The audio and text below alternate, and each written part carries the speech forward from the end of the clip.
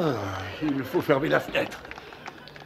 La radio annonce un très fort blizzard cette nuit.